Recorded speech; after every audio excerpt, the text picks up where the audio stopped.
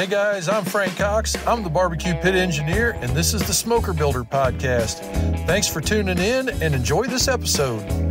Greg Rose has got a good one here. Is bracing on cook chamber doors really necessary on a 250 gallon propane build?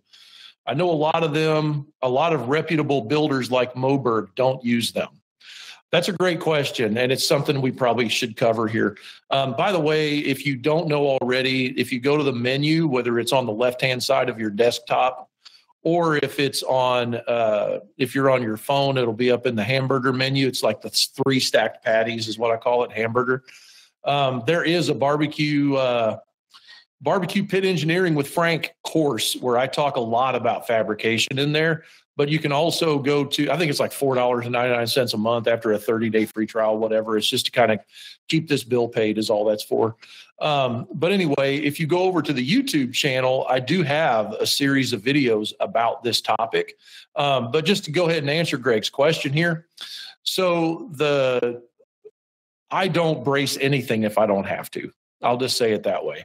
Um, a lot of times, what happens, the tank is what's moving like if you're working on a propane tank, you've got those heads that are welded onto the tank. Plus, those guys are just trying, when they roll the vessel, they're just trying to make the two ends come as close together as possible.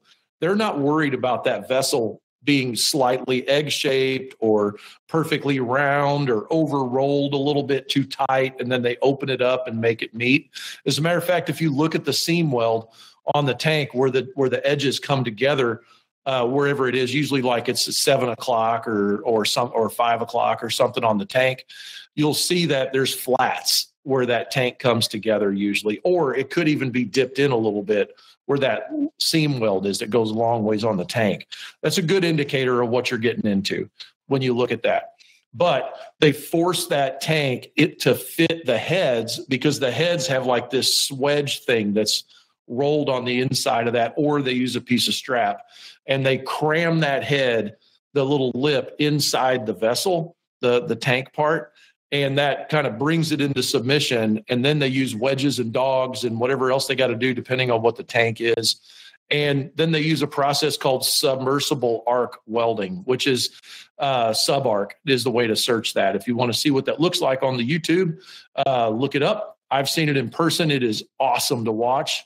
Um, but anyway, that being said, it's depositing three fillers at one time uh, underneath of a of a pile of flux core down inside that joint, and it's a one pass operation, and it leaves a big bead on top. She's about a half inch wide on the bead or so. And what happens is that process is putting so much heat into that head and that tank that things move and so basically, what I'm saying by saying all of that about how they build the tank, we don't know what it's going to do when we cut. We can't predict it. We can't plan for it.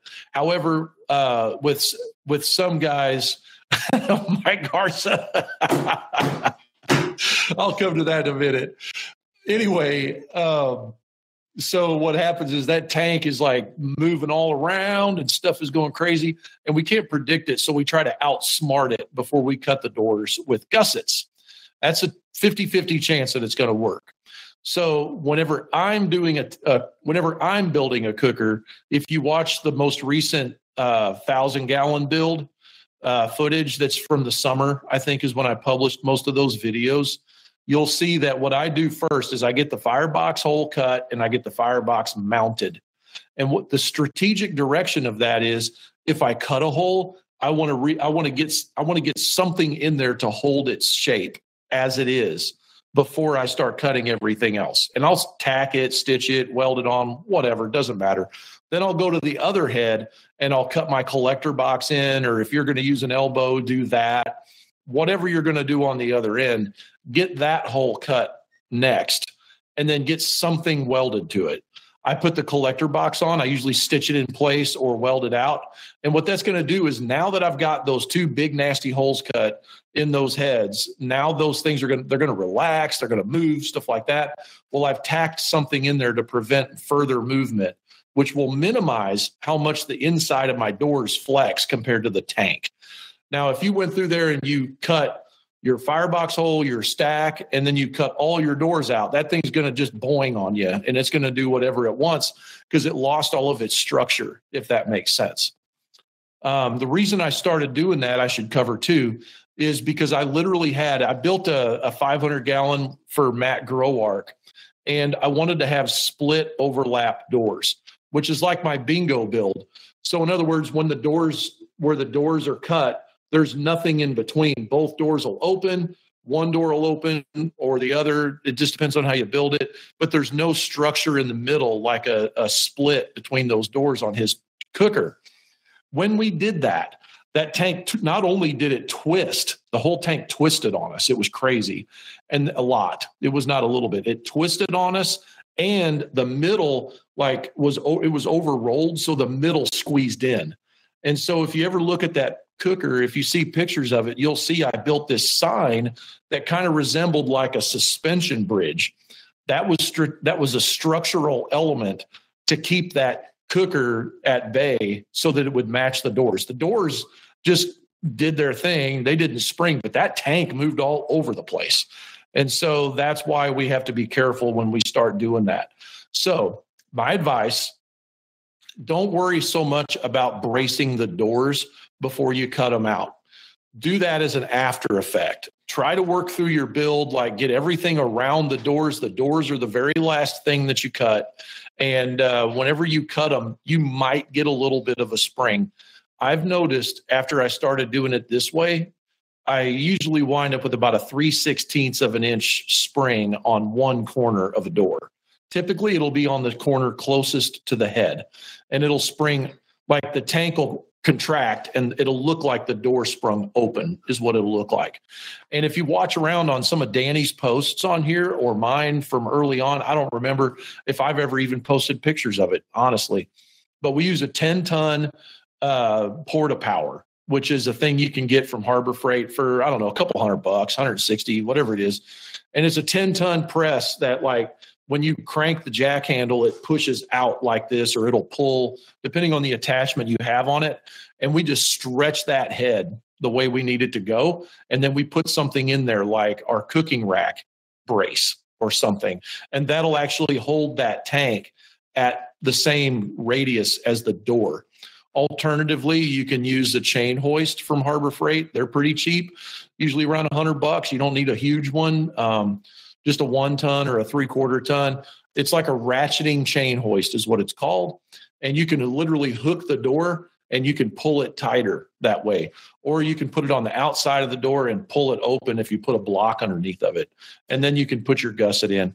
Not hard to fix. It's going to, if you do the firebox and the collector and all the other cuts and get those welded up, then it's going to minimize how much deceit and trickery you got to use to get that door to match up. And then on top of all of that, there's this word we have in manufacturing called tolerance. And uh, we, it's something, it's just like a thing that we say, look, this is good enough. Like no one's really going to notice but us. It bothers us. But at the same time, the customer's not like usually worried about whatever this is, and it's not going to affect performance. That's the word tolerance in my language.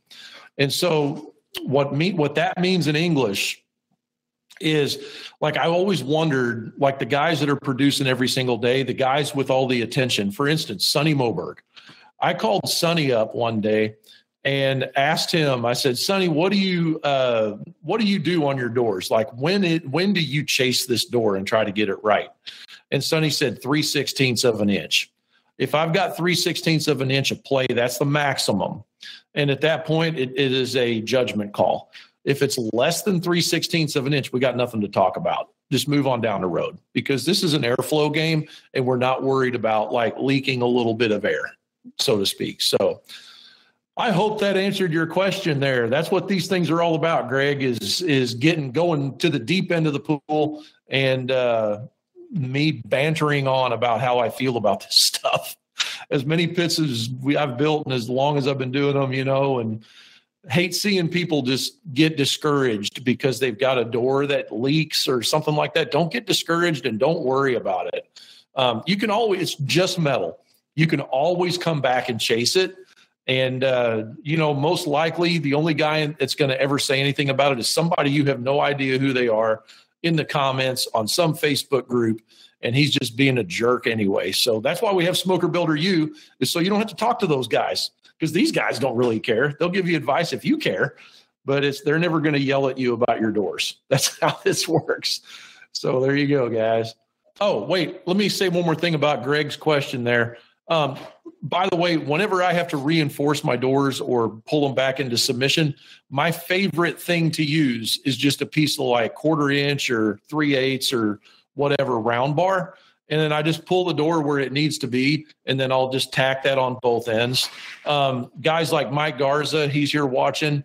He's done some fancy stuff with like uh, turnbuckles and stuff. Like you can get those at they're like a left and a right hand thread that stick out and then you can tighten that down and pull your door where you want it and then you can just leave it in there and jam nut or you can uh, put a different brace in there and cut your turnbuckle out both of those are great great ways to do that we should probably spring the poop out of something one day and see if we can fix it on camera i've just never i'm doing it my way i never have anything spring so um, i never have to fix it so there you go Hey, I want to thank you for listening to the Smoker Builder podcast. And real quick, while I got you, I'd like to invite you to join our private community over on smokerbuilderu.com. That's smokerbuilder, the letter U.com. On that website, it's a private community full of guys like us that are just totally ate up with building and cooking on smokers. So when you join over there, you're going to be set free from all the internet trolls and the Facebook group haters and all of that stuff that none of us like. You can post your build, you can post your cook, you can ask technical questions and get them answered, or you can just join in with the community and have a lot of fun. So, also, if you have a special topic you would like us to cover on this podcast, make sure to bring it up while you're over there. Anyway, till next time, keep your smoke thin and blue, and I can't wait to see your success building and cooking on smokers.